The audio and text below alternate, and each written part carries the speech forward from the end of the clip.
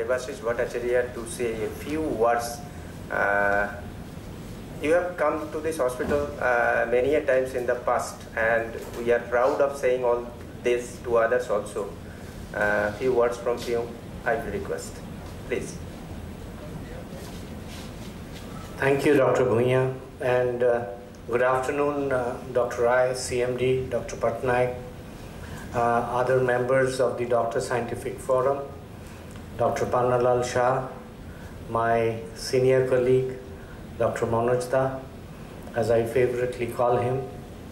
It's always a great pleasure to be amongst you all, and uh, especially the Doctors Scientific Forum and the doctors of the railways. Uh, you look after the health of the biggest organization in the world. Nothing can be more satisfying.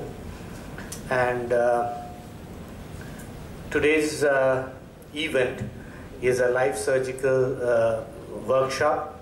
And as I'm told by my colleague Dr. Bhuiya that the younger surgeons will operate and that's the spirit like uh, we need to see and uh, uh, hand over the baton to the next generation.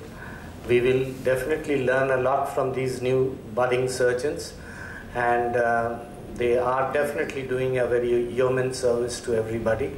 These kind of platforms uh, definitely is not a, only a showcase of uh, the surgical expertise that uh, an individual nourishes, but uh, it is also a very uh, excellent platform uh, to learn newer techniques. And I, on a very personal note, I definitely learn from every live surgical workshop that I attend.